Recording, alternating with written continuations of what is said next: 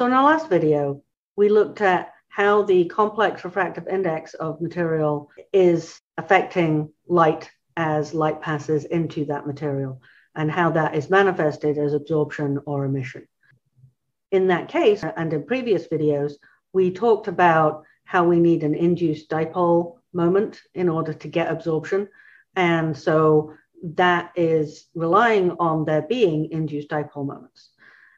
And that doesn't apply to metals. For this video, we're going to talk about what happens when the solid that our light is hitting is a metal. So first of all, think about what's happening in a metal. We have electrons that are free to move. And so they are not bound to anything. And so what that means is that if you have a piece of metal in a, just a static electric field, there's going to be a force F given by minus EE, where the little e is the electron charge and the big E is the electric field, each electron is going to feel that force. And it's going to force the electrons, it's going to accelerate them, they're going to gain velocity, and they're going to move in the opposite direction to the field and they're going to gather on one side while, while the other side of the material is going to be getting more and more positive as its electrons are pushed over to the other side. So we get this pile up of electrons on, on the surface of the metal on one side of the conductor, and we get a surface that is now depleted in electrons and so has a positive charge on it. And because we have those separated negative and positive charges, we've basically induced an electric field. So now we have an electric field that is posing the external electric field. And so it's modifying what's going on on the inside. For a conductor, a metal, we've got electrons on one side of the metal and a net positive charge on the other from all the missing electrons. So our electric field goes to zero inside of the metal that means that we're not going to get the same sort of interaction as we do with our dielectric materials. Remember that our electrons are, are mostly just not bound to the parent nuclei, they're free to move around. So instead of being like the Lorentz model of solids, where you have springs that are connecting things, there is no restoring force that is acting on the electrons. The electrons are free to move, they can just disappear off in one direction. Now, if you've got an, a varying electric field, like with light, where it's going backwards and forwards, the electrons are going to change direction according to the changes in the field. So as the light passes through, the electrons move in one direction and then the other. So you're going to have it negative here, and then they're going to start moving back that way, and then they'll move back that way, and then they'll move back that way. And how fast that turns around depends on the frequency of the light this takes some energy, right? You are passing energy to the electrons by having them accelerate in one direction, and then they're accelerating the other, and then they're accelerating the other. And so you do lose energy from the light, but it is not bound to anything. So you don't get the same effect. So you don't have spectral features. You get absorption of energy across pretty much all energies, but you do not get a nice spiky feature like we see for the dielectric materials at least the ionic dielectric materials. So let's get into this in a little bit more detail.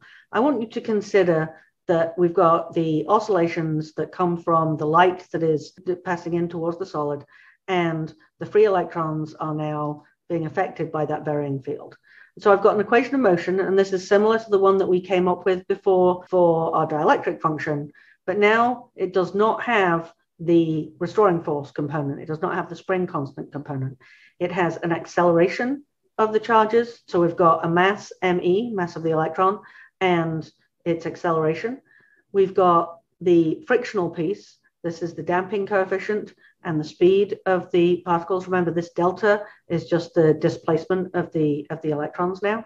All of this action, so the acceleration and the friction, this force that's acting on here is given by the electric field. And now our electric field is this time varying field where this I omega t is the omega is the frequency of the light and the A zero is the amplitude. And this is our damping coefficient. So again, this is the acceleration of the electron due to the electric field. And this is the frictional damping force. So it is dependent on the speed of the electrons, but now we have a force that is also coming into play because of the electric field. And a reminder, no restoring force. So that's where it's different from the dielectric materials. So here's that equation again. And we talked about this before, that basically what we've got is the electrons are just going to follow the field. And so our electron displacement is going to be given by amplitude and the wave function. So now we want to differentiate this to get the speed. So I've got the differentiation. I get my I omega down, my minus I omega pulled down. And now I'm going to differentiate this again to get my acceleration. So now I've got the acceleration due to the field, and it is minus omega squared times d0 uh, ei omega t. And remember that this part here is just the same as the displacement.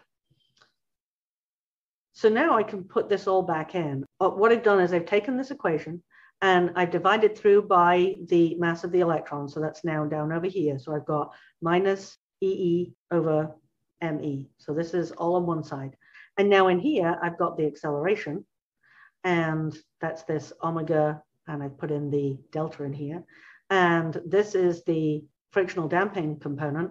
And so again, I've put in the delta in here. So I've got this equation. And this can be rearranged so that we've got the delta on one side and everything else on the other. So now I've got an equation for the displacement of my electrons in terms of the electric field and the frequency and the damping function. So this looks similar to what we had before, but now the mass is the mass of the electrons and we have no restoring force. So that's that equation again. And I want you to think about what's going on here. Remember, we talked about this in a previous video. The polarization of a material is given by the number density of the electrons, the charge on the electrons, and their displacement. Here I've got an equation for my polarization, but also remember that the polarization is given by the dielectric function or permittivity of free space, the susceptibility of the material and the electric field, and then we have this D, which is the electric displacement. And that again is just the electric field times the permittivity of, of free space plus polarization. And we also defined this displacement as being the relative permittivity times the electric field. So those are all things that we talked about in a previous video. All I've done here is to pull all of that together. We've basically just taken this ER here and put, put it into equal to this one. And now I'm going to pull all these things together. So I've taken this equation for the relative permittivity or the dielectric function, and I've got the first part here, which is just a free space part. And then I've got my polarization part. And so here's the polarization here. So I've got an N E delta, and I've put in this delta part here. And so now I've got an equation here, but you'll see that there is an electric field in all three components. So now I can get rid of those. So now I have an equation for my metal, for my conductor, uh, for the permittivity or dielectric function, even though it's not dielectric, in terms of the permittivity of free space and the, the number density of the electrons and the damping constant and the frequency of light. And so we can we can see that we've got something that allows us to see how this varies with wavelength. Now I'm going to define this value, which is the number density of the electrons, the charge on the electron and the mass of the electron. And remember, those two are just constants. I'm going to define this as this omega p, which is actually the plasma frequency squared. And so that just gets rid of this bit here and turns it into omega p. So now I've got the dielectric function for my non-dielectric conductor uh, in terms of the permittivity of free space, the plasma frequency, the frequency of the light that's hitting it, and the damping coefficient. Let's look at this in terms of what it does for the reflectivity of metal. I've got that same equation again here. If we've got a good conductor, that gamma term, which is the damping, that is to do with the friction that the electrons are feeling, that becomes negligible. And so this term just disappears. And so now we've got an equation that just relates the relative permittivity to the free space permittivity and the plasma frequency and the frequency of light. Remember that the relative permittivity is a complex number. So I've got the real and imaginary parts of the complex number.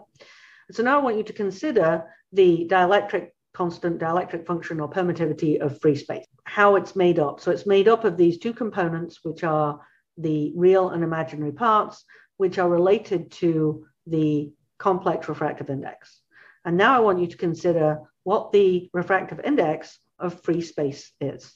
So in a vacuum or free space, we have an n, a real part of the complex refractive index is just one. It is just, it is not changed from the speed of light. It is the speed of light. And we have no absorption. There's nothing in there to absorb anything. So the k part is zero. And so if we plug this in, what we find is that the imaginary part goes to zero and the real part just goes to one. And so epsilon naught, the dielectric function for free space, really is a constant and it's just one.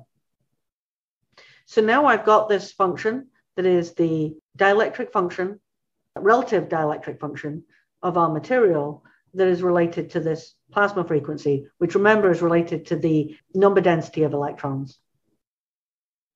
So here's that equation again. And now we're going to consider what that means for what's going on inside the material. So here I've got the reflectivity equation that we derived in a previous video in terms of the complex refractive index. And I've got the complex refractive index in terms of the complex dielectric function. If omega is less than omega p, if omega is less than that plasma frequency, then this number is greater than one, and this number is now negative, and so this number is negative, and so the complex refractive index is imaginary. If we take this so that omega p is equal to omega, now this goes to one, this goes to zero, and so we have a complex refractive index of zero. When we have an omega where it is greater than this omega p, the plasma frequency, this number becomes smaller than one, this number becomes positive, so n becomes real. And so we actually have a real component to our complex refractive index. Effectively, what this means is that up to the plasma frequency, the reflectivity is essentially just one. So if you look at this equation here, if I put in m equal to zero, what I'm going to get is that this just goes to one. So effectively, what we have is that the reflectivity is just unity. But as soon as omega gets above the plasma frequency, now we're going to have a reflectivity that is decreasing. And as the omega goes higher and higher, this number is going to get um, higher and higher too. This is going to get smaller and smaller until it reaches zero and omega equals infinity. If we consider just the first part up to the plasma frequency, basically what we've got is reflectivity is 100%. That's going to be true up to the plasma frequency. And that's why metals look the way they do. They're so shiny because the reflectivity is essentially 100%. It reflects everything. On the other hand, if we think about what happens once we pass and get higher than the plasma frequency, now the reflectivity is going down and down. And in fact, the metal will become transparent. And so as the reflectivity drops, it's going to become uh, more and more transparent. Uh, but that happens at very, very high frequencies. So in this video, we've gone through how the optical properties of metallic solids behave differently than those of dielectric solids. And we've talked about the reflectivity of metal and why it's shiny and what happens when we get to really high frequencies.